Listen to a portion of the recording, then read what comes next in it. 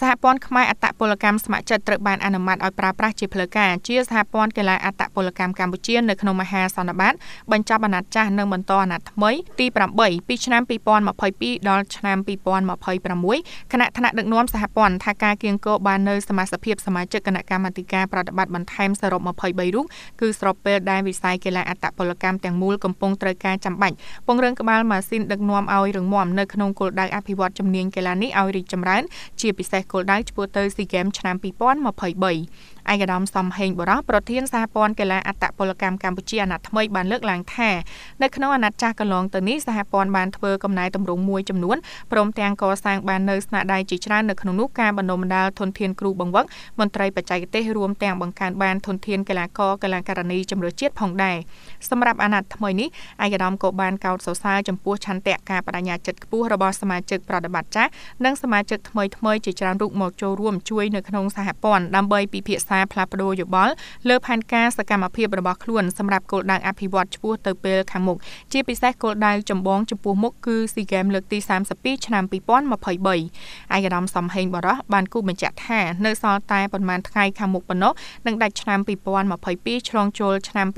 2023ដែលពេលវេលានៃការត្រៀមធ្វើម្ចាស់ផ្ទះ SEA Games ឆ្នាំ2023កាន់តែខ្លីទៅខ្លីទៅដូច្នេះតាមរយៈ ពេលវេលានៃការត្រៀមខ្លួននេះយើងនឹងរៀបចំការប្រកួតកីឡាអត្តពលកម្មកម្រិតជាតិមួយទៀតមុនពេលដល់ SEA Games លើកទី32ដើម្បីបង្កើនគុណភាពបច្ចេកទេសរបស់អត្តពលិកជំនឿជាតិឲ្យកាន់តែរឹងមាំនៅក្នុងបច្ចេកទេសផងនិងផ្ដល់ឱកាសឲ្យមន្ត្រីរៀបចំបច្ចេកទេសបានដកស្រង់បទពិសោធន៍ផង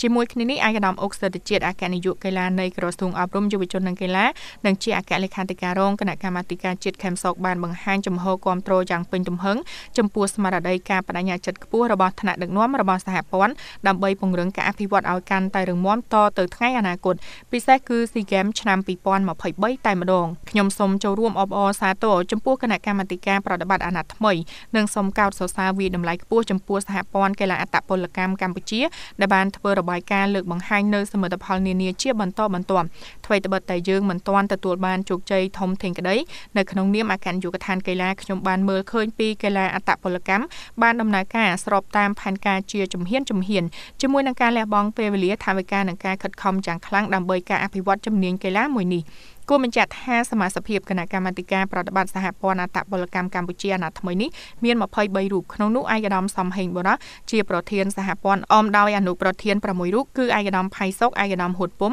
ឯកឧត្តមឆាន់សុផលលោកដួងមាសចម្រើនលោកដាំភិរុននិងលោកស្រីជួបវិជ្ជការដែលសមាជិកថ្មី12រូបត្រូវបានមហាសន្និបាតអនុម័តដើម្បីពង្រឹងក្បាលម៉ាស៊ីនដឹកនាំជួយជ្រោមជ្រែងដល់ការអភិវឌ្ឍវិស័យកីឡាអត្តពលកម្មកម្ពុជាឲ្យកាន់តែប្រសើរមហាសន្និបាតក៏បានអនុម័តរបាយការណ៍វឌ្ឍនភាពការងាររបាយការណ៍ហិរញ្ញវត្ថុរយៈពេល4ឆ្នាំបន្តនៃអាណត្តិថ្មី2012-2026វិសោធនកម្មលក្ខន្តិកៈបោះឆ្នោតជ្រើសរើសគណៈកម្មាធិការប្រតិបត្តិអាណត្តិថ្មីដោយទទួលបានពីសម្លេងគ្រប់គ្រង100%ពីសមាជិកមានសិទ្ធិបោះឆ្នោត